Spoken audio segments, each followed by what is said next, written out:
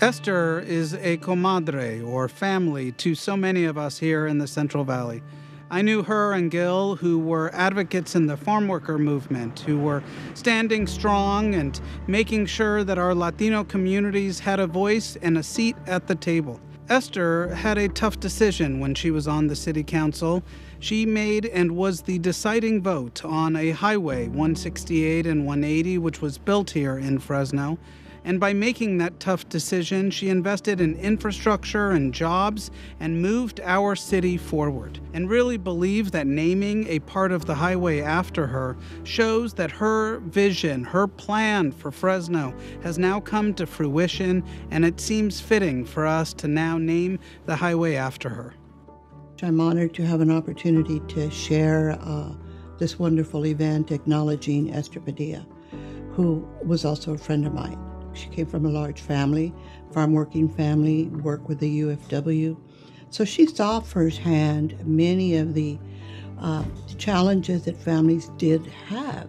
She was tenacious, she was ethical, and she just did not let go when things were not right.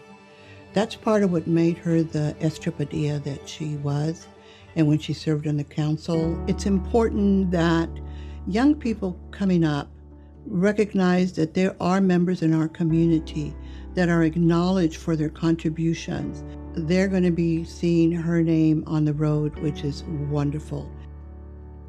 Esther Padilla was a very, a very giving individual. She served as city councilwoman. Then she went on to finish her career with Donor Network West, advocating on behalf of those who don't have a voice. So I think you can see a parallel in her life that she always put other people ahead of herself. And the legacy that she also left behind and that you too can leave is by registering to be an organ and tissue donor because I know that she's probably looking down on all of us now and saying, Good job, I'm glad you're still carrying on my work.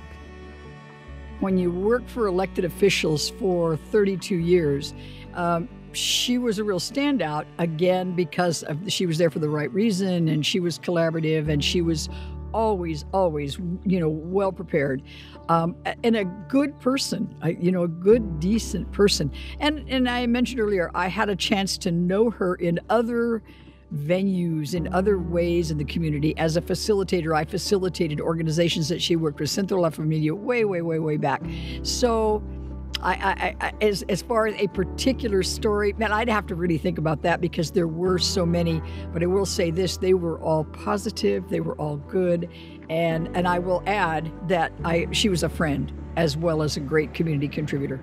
She was very proud to be the first Latina elected to the Fresno City Council.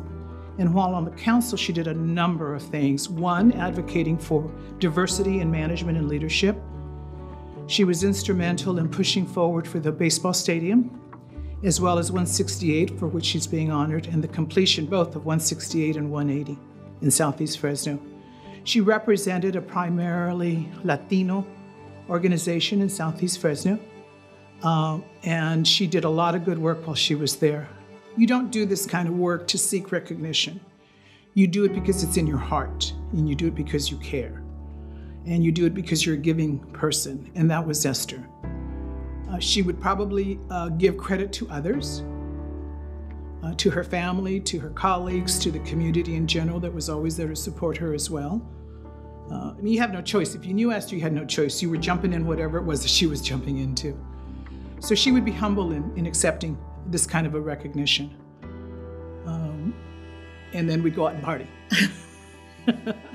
When I first learned that she was the first Latina council member for the city of Fresno, I was inspired because I knew that there were women that had come before me that had broken the ceiling and paved the way so that young women like myself could also see ourselves in sitting at the chair making the same decisions. It was extremely important that we recognize and name the highway after the late Esther Padilla because we wanted to make sure that people in the community recognize the historic moment that she had in our community by being the first Latina.